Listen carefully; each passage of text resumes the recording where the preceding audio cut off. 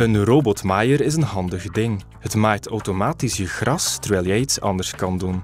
Ben je van plan er een aan te kopen? Dan kom je in deze aflevering te weten waar je op moet letten.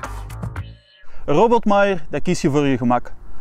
Maar welk model kies je nu het best? Wel, er zijn heel wat dingen waar je rekening mee moet houden. Welke dat zijn, die overlopen we in deze aflevering. Het principe van een robotmaaier is lichtjes anders dan dat van een gewone grasmaaier. Het gaat het gras niet zozeer maaien, het gaat eerder uh, mulchen. Dat betekent dat je de maaihoogte moet instellen en alle grasprietjes die boven je ideale maaihoogte uitkomen, gaat afmaaien. Een robotmaaier sleurt ook geen zak mee. Dat betekent dat die kleine stukjes gaan achtergelaten worden op het gras zelf en eigenlijk als een soort van natuurlijke bemesting gaan dienen. Door dat principe van mulchen gaat uw robotmaaier wel vaker het gras afrijden dan u zelf zou doen. Maar het voordeel is dan weer dat het een perfect gemaaid gazon gaat zijn. Wat zit er nu standaard in de verpakking van een robotmaaier? Wel de robotmaaier zelf natuurlijk. En het laadstation. Dat laadstation dient om de batterij van de robot op te laden. En dat gaat meestal via een transformator. Er zitten ook piketten bij om dat laadstation vast te zetten, zodat het niet gaat lopen. En een aantal meter draad, wat normaal gezien wel genoeg is om ja, een gebied mee af te bakenen. Deze piketten die dienen om de draad mee vast te leggen. En natuurlijk zit er ook nog een handleiding bij.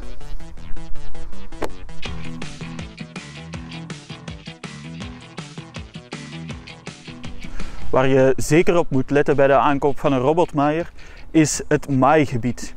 Dat verschilt namelijk van robotmaaier tot robotmaaier. En hoe kan je dat zien? Wel, dat staat zo altijd op de verpakking te lezen, hier of hier in het klein. En soms zelfs op de robot zelf. Die afmeting dat is een maximum. En daar mag je dus zeker niet over gaan. Dat betekent wel, voordat je je robotmaaier gaat aankopen, dat je wel even je grasperk moet opmeten. Hoeveel vierkante meter het is natuurlijk. Wat je geen rekening mee moet houden is de bloemperken die eventueel in het gras zitten of de bomen. Enkel het gras zelf dus.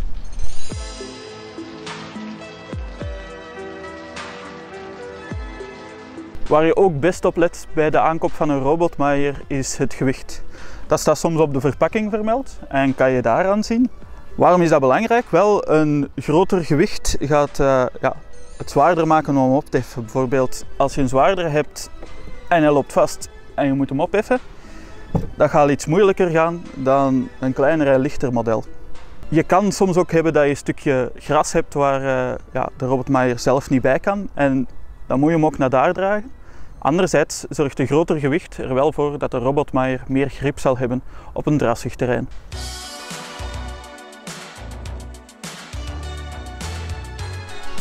Waar je ook naar kan kijken is de batterij natuurlijk. Het soort batterij is minder belangrijk. Bijna alle modellen gebruiken tegenwoordig lithium-ion batterijen, wat, ja, die verliest geen krachten na verloop van tijd. En die is ook de lichtste, dus dat heeft een invloed op het gewicht van de robotmaaier. Wat wel belangrijker is, is de autonomietijd. Dat betekent hoe lang de robotmaaier op zichzelf kan bewegen over het veld en hoe lang hij eigenlijk kan maaien. Ook de oplaadtijd, daar moet je rekening mee houden, want die bepaalt hoe snel de batterij oplaadt terug tot zijn volle sterkte. Dus hoe snel hij terug aan het werk kan gaan.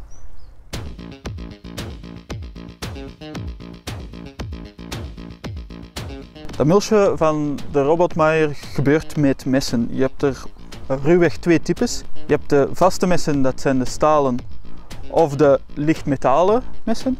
En je moet jaarlijks die messen vervangen om uh, ervoor te zorgen dat je robot goed blijft maaien. Dus bij deze betekent dat wel altijd heel het mes vervangen.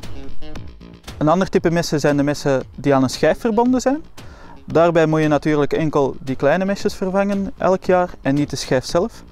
En zoals je kan zien zijn deze daar vast aan bevestigd. Maar sommige fabrikanten kiezen voor iets meer veiligheid en zorgen ervoor dat de mesjes naar binnen toe geklapt kunnen worden. Dit zorgt ervoor dat als de robotmaaier een voorwerp tegenkomt, dat de mesjes naar binnen klappen dus en dat zowel het mesje als het voorwerp zelf weinig beschadiging oploopt.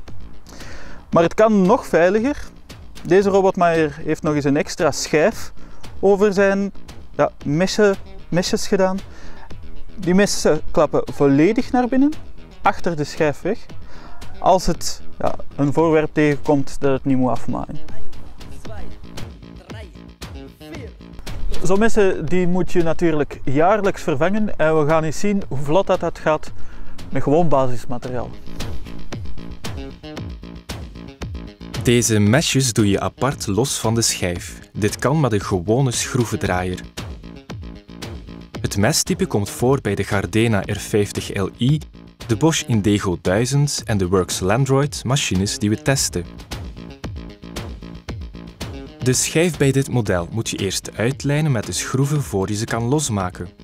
Het principe is voor de rest gelijkaardig aan het vorige systeem. Gewoon los en vast schroeven met de schroevendraaier. De beschermingsschijf wordt gebruikt op de Husqvarna Automauer bij onze testmaaiers.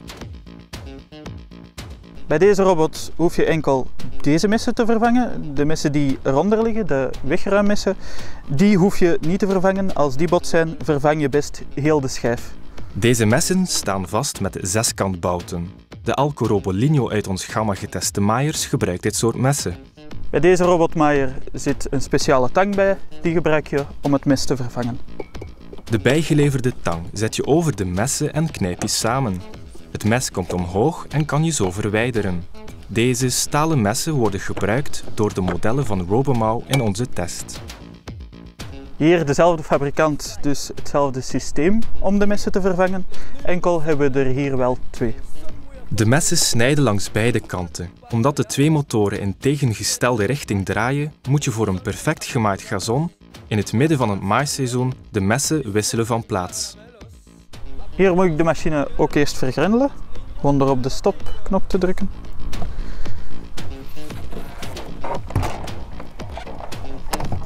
En het mes vervangen is deze twee samendrukken en dan de knop in het midden draaien. Deze messen hebben een vergrendeling die je met de hand kan losmaken en opspannen om het mes vast te zetten. Dit soort mes komt voor bij de Viking IMO.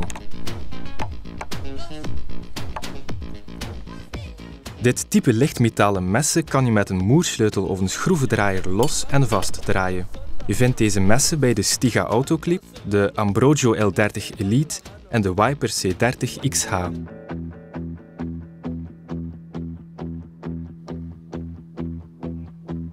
Afhankelijk van de fabrikant is er ook een verschillende manier om de maaihoogte in te stellen. Soms is dat al wat gemakkelijker als de andere keer en we gaan eens kijken hoe dat, dat precies gaat. Bij deze fabrikant doen we dat onderaan. En met een bijgeleverde schroevendraaier zet je de machine los en stel je de hoogte in. De hoogte lees je af op de bijgeleverde schroevendraaier zelf.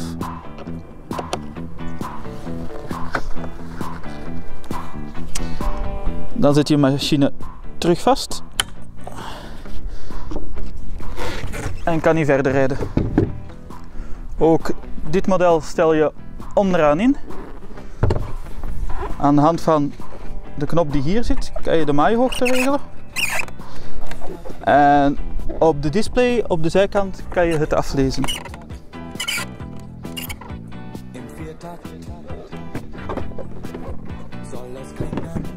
De deze stellen we in via een knop hier, die je opendraait, de hoogte instelt en terug vastdraait. En als je wil zien hoe dat, dat werkt, kan je dat zo zien.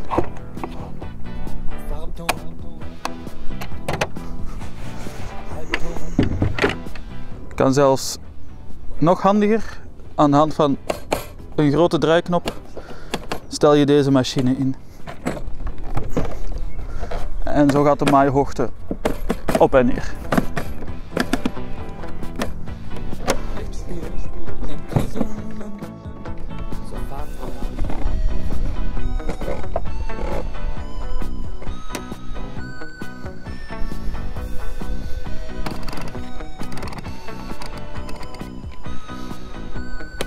Sommige machines kan je nog preciezer instellen aan de hand van een druk- en draaiknop. kan je de maaihoogte bepalen. En sommige modellen zijn tegenwoordig al volledig digitaal. Die stel je in via het menu.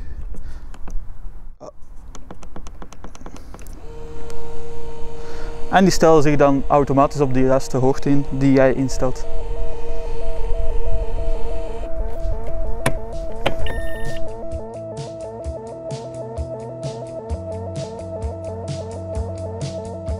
Alle fabrikanten hebben natuurlijk een aantal veiligheidsmaatregelen ingebouwd, zodat ja, uw handen niet in contact gaan komen met de messen.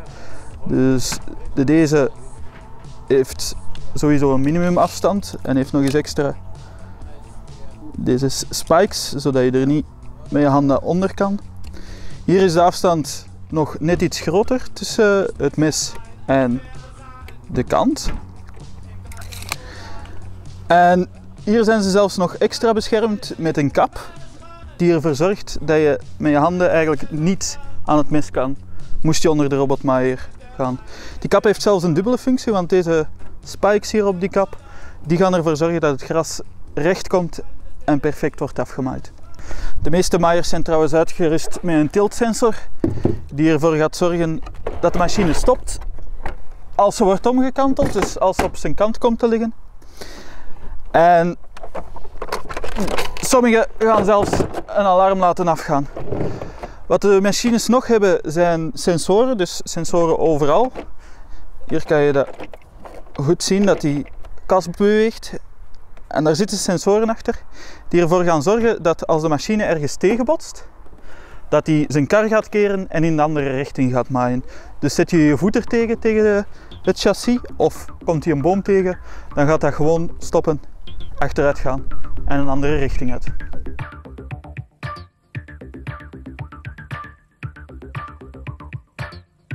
De meeste modellen zijn ook uitgerust met een display.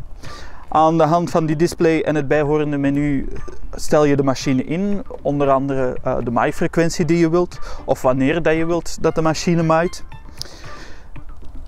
Sommige modellen hebben ook een regensensor. Dat is niet zozeer om de machine te beschermen, maar eerder om het gras te beschermen. Als je gaat mulchen uh, terwijl het nat is, dat gaat niet zo goed. Dus is het beter bij droog weer. Daarom dient die regensensor dus. Andere displays zijn beschermd door een kapje tegen de zon en tegen de regen en hebben een toetsenbord. Dat toetsenbord maakt het makkelijker om een aantal functies in te stellen. Sommige modellen beschermen zelfs volledig hun display tegen de zon en tegen de regen door het met een dichte behuizing af te dekken. En dat is maar goed ook, want als zo'n display in de volle zon blijft staan, in een volle zomer, dan uh, is die na een paar jaar ja, niet meer zo leesbaar als in het begin. Sommige modellen kan je tegenwoordig zelfs al instellen via een app.